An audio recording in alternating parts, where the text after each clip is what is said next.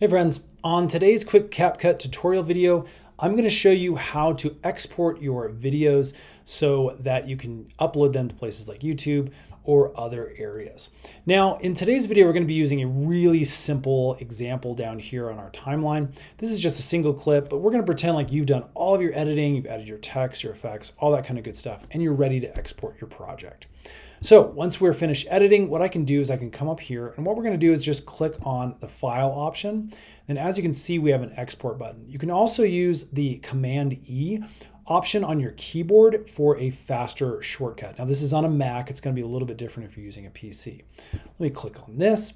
And then as you can see, we have a couple of different options that come up. So you can click on your export features right here, as well as export it to a very specific area of your computer where you want the file to be stored. Remember to add a title as well so you can find it later. That's basically it. All we now have to do is hit the export button and things go very, very quickly. In fact, it already has processed for us because that clip was so short. Now, the other things that come up here, these are going to be for a pro version. And basically this is, can also export things in that TikTok video size, which is 9 by 16 or some different other options that you have.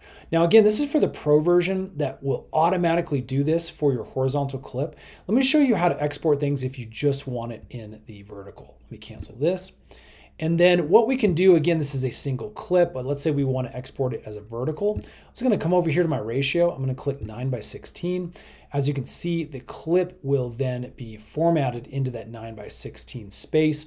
Again, this is going to be easy because I have a single clip. It may be a little more difficult if you have multiple clips to work with. But we can click on this, scale this up so it fits the entire block.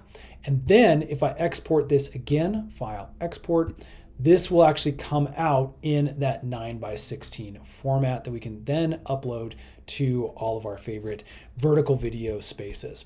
It really is that simple, friends.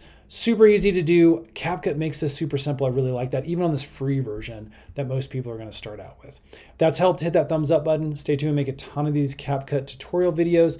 A bunch more are coming out really, really soon. Subscribe, and we'll see you again on the next one.